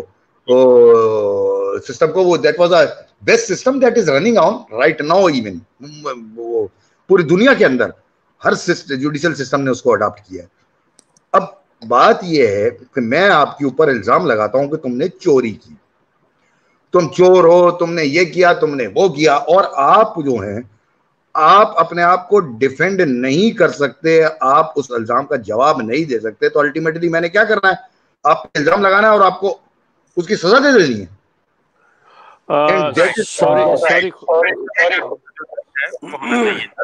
पॉइंट आ गया सब क्या फरमा रहे हैं? नहीं मैं ये अर्ज़ करने लगा था कि ये जो सिलसिले हैं ये हम डिस्कशन मतलब कर सकते हैं लेकिन अगर कोई आपके कॉलर्स हैं तो आप उनको उन, उनको प्रेफरेंस दें। थैंक यू मैं यूट्यूब पे वापस जी। चल okay thank you thank you Khair Sahab.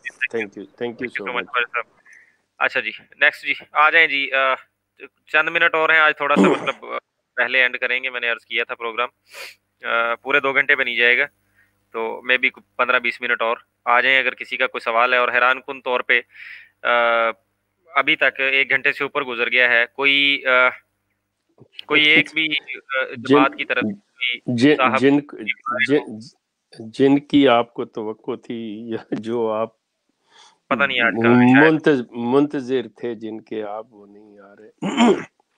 चले देखते हैं। अच्छा जी। हाँ वो चीज़ अलहदा लेकिन चले मैं इस वक्त का फ़ायदा उठा लेता हूँ मैं ये अर्ज़ कर देता हूँ और है मेरे पास है? चार अच्छा। है मेरे पास ठीक है ले लें। आपसे माजरत करनी पड़ेगी मुझे। No no it's okay sure. Irfan अस्सलाम वालेकुम रहमतुल्लाह जी। हेलो इरफान साहब माइक अपना ऑन रखिए काइंडली दोबारा लेता हूँ आपको। जिया साहब अब आवाज़ आपकी ठीक है? अस्सलाम वालेकुम रहमतुल्लाह। अस्सलाम वालेकुम जी। अब आवाज़ क्लियर है मेरी? हाँ जी बिल्कुल ठीक है बिल्कुल ठीक है।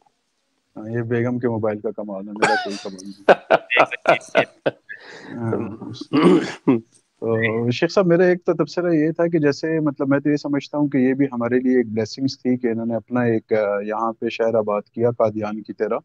क्योंकि अगर ये अपना शहर आबाद ना करते और ये इसी तरह तितर बितर मुख्तलिफ़ शहरों में होते तो फिर इनके खिलाफ ये जो एक तहरीक उठी और ये जो रब्बा वाला वाक़ हुआ था रेलवे स्टेशन का ये शायद इस तरह ना होता। तो अल्लाह ताला के हर काम में हिकमत होती है कि ये अपने आप को इतना पावरफुल समझ रहे थे कि उन्होंने इतना बड़ा स्टेप लिया और उसका नतीजा ये हुआ कि कौम इनके खिलाफ इकट्ठी हुई और इनके खिलाफ एक फैसला आया।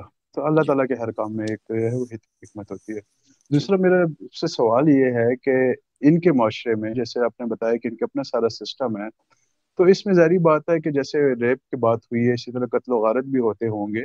और इस सिर्फ़ मैं रबवा की बात नहीं कर रहा मैं मतलब ऑल ओवर द वर्ल्ड जहाँ जहाँ पे इनके जो है ना वो एक जमाती सिस्टम है उसके हवाले से बात कर रहा हूँ कि अगर ऐसे कोई मर्डर वगैरह हो जाता है रेप केस वगैरह हो जाते हैं पाकिस्तान में तो चले इनका इतना इन्फ्लुएंस है कि थाना इन्होंने खरीदा हुआ है या वहाँ पे मंथलियाँ देते हैं। तो जैसे कनाडा का मुल्क है कि वहाँ पे कानून की जो है या यूके है वहाँ पे बहुत स्ट्रिक्ट है लॉस तो वहाँ पे इस तरह के जो सीरियस किस्म के केसेस होते हैं उसको ये कैसे मैनेज करते हैं? ये सवाल जहाँ तक क्रिमिनल ऑफेंसेस का ताल्लुक है वो मतलब आप ये कह लें कि बहुत ही मिनिमम किस्म का परसेंटेज है कि उसको ये कंट्रोल करें या ना सामने आने दें, वो तकरीबन आप समझ लें 99 परसेंट चला जाता है कानून के पास। लेकिन जहाँ तक सिविल मैटर्स का ताल्लुक है तो उसमें ये 90 परसेंट तक मतलब ये कामयाब हो जाते हैं कि सिविल मैटर्स कोई भी हो। मिसाल के तौर पे मियाँ बीवी आपस में नहीं मिल रहा है, कोई लेन देन है, कोई जायदाद का मसला है, कोई दूसरा आपस में ये वो मैटर्स हैं। तो उसको ये मजबूर कर देते हैं, ये सारा कुछ ये कर देते हैं कि अच्छा नहीं। अच्छा सबसे बड़ा जो इनका थ्रेट होता है, वो ये होता है कि मिसाल के तौर पे कि एक शख्स बात नहीं मान रहा, सिस्टम को तस्लीम नहीं कर रहा, सिस्टम उसे कह रहा है कि तुम, चलो, हमने जो फैसला कर दिया है, वो मान लो, वो कहता है, मैं नहीं मानता। उसे कहते हैं अच्छा ठीक है, तुम नहीं मानते, जाओ अदालत में चले जाओ। जब वो अदालत में चला जाता है, ये वो कर लेता, अब ये उसके गिर्द सुर्ख दायरा लगा लेते हैं, कल को। वो या उसकी फैमिली, रिलेटिव्स, कोई उसके बच्चे, कोई बहन भाई, उनका कोई मामला शादी का हो, जनाजे तक का हो तो वहाँ पे आके सवाल ये खड़ा करते हैं कि, अब आए ना तुम। अब तुम्हारे साथ कोई ये हम किसी किस्म का भी हेल्प नहीं करेंगे। मीनिंग कि तुमने अगर निकाह पढ़वाना है, ये करना है, जमात को इन्वॉल्व करना है तो वो पिछली सारे माफिया मांगो, जो पिछले ड्यूज तुम नहीं दिए थे, वो क्लियर करो, आइंदा के लिए तोबा करो। बैन ही ये सारा कुछ इस तरह इनको एक्सप्लाइट किया जाता है। बाकायदा तौर पे ये एक्सप्लाइटेशन होती है ये। लेकिन जो आपने कहा क्रिमिनल क्रिमिनल मैटर्स में मतलब इन ममालिक के अंदर मतलब शायद कोई वन परसेंट मैं कहता हूँ कि ये हो जाए अदरवाइज़ नाइन्टी नाइन परसेंट ये उसमें इनकी बात नहीं, चल सकती नहीं है, वो हो ही नहीं सकती यहाँ पे, क्योंकि कानून इतना ताकतवर है। जी। जी जजाकल्ला बहुत शुक्रिया शेख साहब। इरफान, आपको ले रहा हूँ दोबारा। माइक ऑन कीजिए। भाई वालेकुम अस्सलाम साहब एक साहब, अस्सलाम वालेकुम।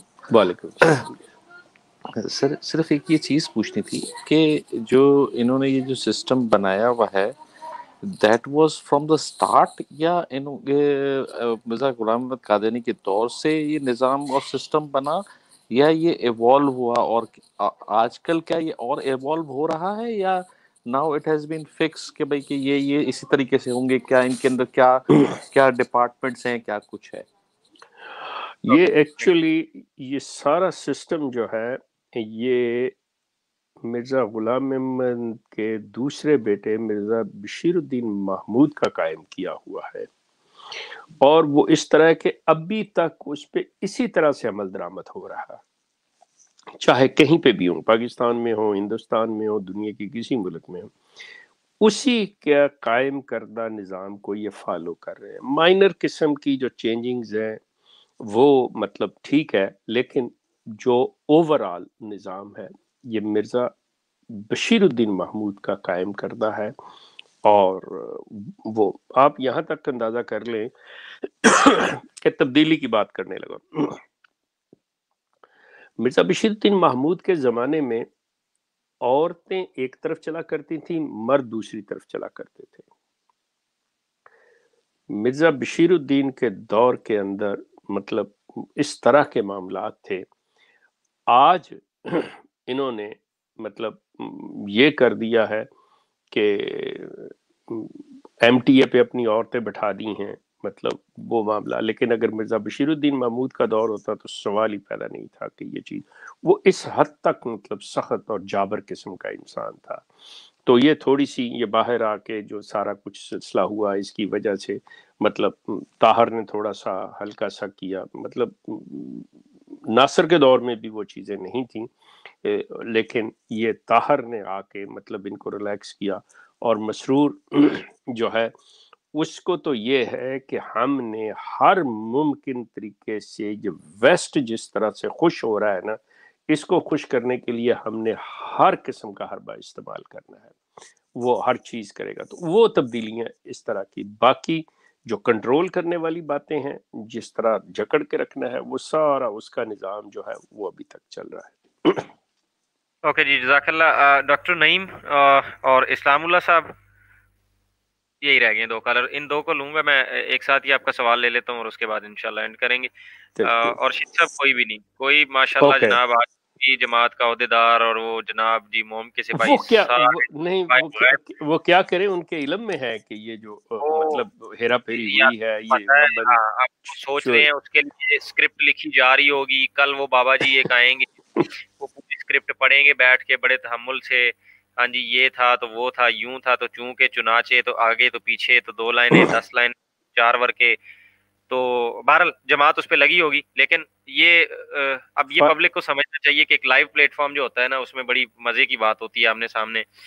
फारूक ये भी हो सकता है फारूक ये भी हो सकती है एक बात है क्योंकि अगर आप गौर करें तो आपने ये आज के प्रोग्राम का थम नेल जो है अलेवेंथ आवर पे मतलब लास्ट मोमेंट पे आपने दिया है। अक्सर आप पहले दे चुके होते हैं। आप कर रहे हैं आप बेफिक्र रहे नहीं नहीं मैं ये बता रहा हूँ कि उन्हें तैयारी का मौका नहीं मिला। तैयारी का उनको छोड़े। आपने दे दिया था ना दो तीन दिन पहले इतला। फिर अब आप चाहते हैं कि मैं वो कमेंट पढ़ दूँ यहाँ जो मैंने वहाँ किया था। ये, ये इतलाएँ बड़ी चोरी होती हैं। ये अच्छा। जहाँ जाती हैं हमें भी सारा पता है जो जिधर से खबरें जाती है बड़ी दूर तक। ये आपको भी पता चल तो जाती हैं शेख साहब अब आप वो अब आपने नहीं नहीं बताना तो ना बताएँ आपकी मर्ज़ी है। इनको सब पता होता है। हम हमारा कहीं कोई डिस्कशन हो गई है ना वो चार छह बंदों से अगर बात आगे पीछे निकली है कि अब ये इस पे प्रोग्राम हम करने लगे इन तक पहुँचती है उन तक भी पहुँचती है और एक वो है उन तक भी पहुँचती है। तो इनको सबको पता होता है मिलजुल के उसी हिसाब अच्छा। से आगे शेड्यूल भी कर रहे होते हैं। तो ये, ये अच्छा ये तो मैं भूल ना जाऊँ मैं भूल ना जाऊँ। आप ऐसे है कि यहाँ पे अपने जो चैनल्स के प्रोग्राम की टाइमिंग है ना इससे लोगों ये कहीं लगा दें ताकि लोगों के जहन में हो कि फलान दिन कौन से दिन क्या प्रोग्राम होता है कितने बजे होता है किसका प्रोग्राम है। अक्सर मुझे फ़ोन आते हैं तो पूछते हैं जी आज आपका प्रोग्राम है? तो इसको लगवा दूँगा। हाँ। उसका शेड्यूल बना के लगा देंगे। वैसे बता देता हूँ कि बुध को आमिर भाई का होता है उस दिन हमारा नहीं होगा। इसी तरह संडे को नहीं होगा। बाकी जो हफ़्ते के दिन है उसको उर्दू के प्रोग्राम होंगे और एक हफ़्ते का छोड़ के जो दिन है उसको इंग्लिश का हुआ करेगा। ये हाँ, तरतीब है। हाँ लेकिन मेरे प्रोग्राम भी बजाय चार दिन के वो दो दिन पे आ गए हैं मंडे और थर्सडे या फ्राइडे मतलब दोनों में से कोई एक दिन। ट्यूसडे वेंसडे मेरा भी नहीं है। ट्यूसडे को कौन कर रहा है फिर? मैं तो, मैं तो वापस आया हूँ काफ़ी दिनों बाद तो मुझे तो अच्छा चले कंफर्म करके ना या लगाएँगे। ये चीज़ें चले कंफर्म करके लगा देंगे। महाराज जी नेक्स्ट डॉक्टर नईम साहब और इस्लामुल्ला साहब आप दोनों को लेता हूँ। आपके सवाल आप जल्दी कीजिएगा। इंशाल्लाह उसके बाद इजाज़त चाहेंगे फिर। डॉक्टर नईम साहब अस्सलाम वालेकुम अस्सलाम रहमतुल्लाह। शेख साहब क्या हाल है? ठीक है? अल्लाह का शुक्र है। थैंक यू सो मच मेरा मेरा सवाल ये था कि ये जो जमात के प्रेसिडेंट होते हैं डिफरेंट कंट्रीज़ में हम्म। ये जो एक्सप्लॉयट कर सकते हैं I mean absolute power corrupt you absolutely वो तो एक फैक्ट है। तो ये किस कदर एक्सप्लॉयट करते हैं अपनी उस पावर को? और अगर एक बंदे के मुँह को ये खून लग जाता है तो आपका क्या ख्याल हम्म। है कि उसके जमात को छोड़ने के चांसेस तो बहुत कम हो जाते होंगे? और दूसरे भी देख के तो वो उसकी पोजीशन लेना चाहते होंगे। आई मीन सेक्सुअली भी और ए सेक्सुअली भी मतलब दोनों दोनों मैटर्स में मैं कह रहा हूँ कि एक्सप्लॉयटेशन का लेवल क्या होता है? और ऐसे कोई इंस्टेंसेस हैं तो एक्चुअली एक्चुअली इनका जो तरीकाकार है, वो ये है कि जो जिसको आप सदर कहते हैं ना, प्रेसिडेंट कहते हैं, वो एक छोटे, जहाँ पे कम लोग होते हैं, या, जैसे हम कहते हैं गाँव है एक। और दूसरा यह है कि शहर है तो उसमें फ़र्क ये आ जाता है कि छोटे जो एक शहर को आप डिवाइड कर दें, शहरों को डिवाइड कर दें उतने हलकों में तो उसका जो होगा वो प्रेसिडेंट होगा। तो लेकिन जो ओवरऑल होगा, वो अमीर होता है। मतलब जैसे यहाँ कनाडा के अंदर के एक इनके नेशनल अमीर हैं, अमीर। वो सिलसिला, लेकिन बाकी जितने वो शहरों को तकसीम किए हुए जितने हिस्सों में वो करेंगे, उनके प्रेसिडेंट्स होंगे। वो सदरान होंगे, वो सदर होंगे। अच्छा इनके साथ ये एक मुअल्लम या मुरब्बी मुअल्लम और मुरबी जो होता है, वो नुमाइंदा होता है खलीफा का। जो सदर होता है, अमीर होता है, वो नुमाइंदा होता है पब्लिक का, अहमदियों का। जो मुरबी और मुअल्लम है, वो पेड है। जो सदर और अमीर है, वो वॉलेंटियरली जॉब है। सो so, ये चीज़ें जेन में रखिएगा कि ये जो हैं इनके इख्तियार बड़े महदूद हैं। सदर जो है मतलब उसको सर्टन इख्तियार दिए गए हैं कि ये है उसने अपने जो अमीर है उसके मुताबिक चलना है उससे उसने मंजूरी हर चीज़ की लेनी है। अच्छा अमीर जो है वो जब अपनी आमला के साथ बैठेगा उसमें वो नुमाइंदा जो है इसको बिल्कुल ऐसे कर ले जैसे ऑस्ट्रेलिया कनाडा वगैरह ये मुल्क हैं तो यहाँ पे हुकूमत जो होती है, यहाँ के लोग बनाते हैं, लेकिन एक गवर्नर होता है। जो गवर्नर जनरल है, वो मलका का नुमाइंदा है। वो मलका के मफादात का तहफ़ करता है। बिल्कुल इसी तरह इन्होंने ये चीज़ रखी हुई है क्रॉस चेक के ये। लेकिन इसके बावजूद भी सारा कुछ होता है। ये नहीं है कि नहीं, इंसान है, इंसान हर हर एक को धोखा देता है, सारा कुछ करता है। तो ये चीज़ें इनके हैं, लेकिन इनका क्रॉस चेक काफ़ी है। अच्छा फिर ये ज़्यादा देर तक आप ये समझ लें कि जो फंड्स हैं या ऐसी चीज़ें हैं, उनको रहने नहीं देते। वो आपने ट्रांसफ़र अब इन्होंने ये कर लिया हुआ है कि ज़्यादातर अपार्ट फ्रॉम दैट के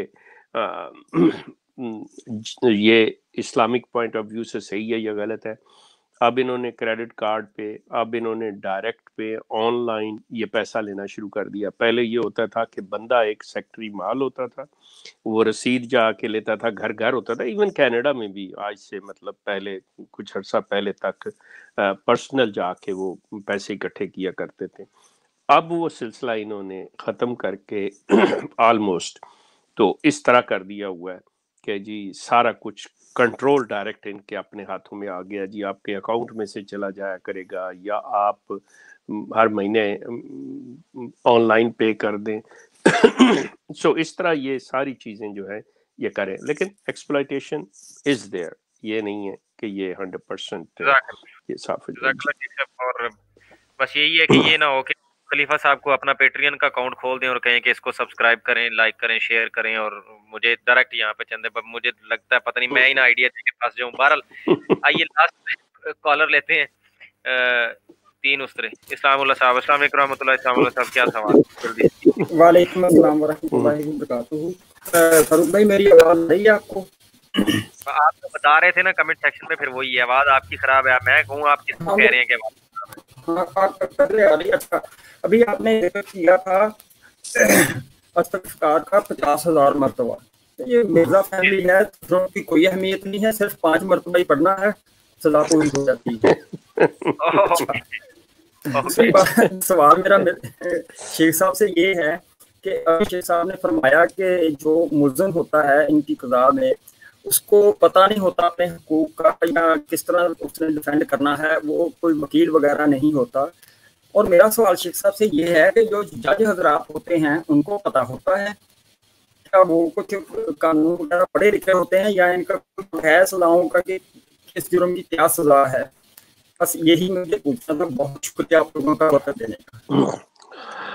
ये मतलब इनकी कोशिश हतल वसा होती है कि जिस बंदे को बतौर काजी मुकर किया जाता है या कज़ा के मेम्बरान में से आते हैं, उनको थोड़ा बहुत फ़िका की जो तालीम है, वो दी जाती है मतलब फ़िका सॉरी, एक्सक्यूज़ मी, फ़िका की, फ़िका का इलम जो है ना, वो पढ़ने को दिया जाता है कि आप उसके बारे में जान लें। तो जो कि मतलब थोड़ा बहुत रखते हैं। फिर ज़्यादातर ये देखते हैं कि अगर वो लोग जो आम शोबा वकालत से जिनका ताल्लुक हो, उनको मतलब कज़ा के अंदर या काजी के अहदे पे मुकर किया जाए, इनकी हतल वसा कोशिश ये होती है कि ये चीज़ें लेकिन जो असल चीज़ है कि प्रोसीडिंग्स जो हैं, वो काजी साहब अपने पास ही रखते हैं।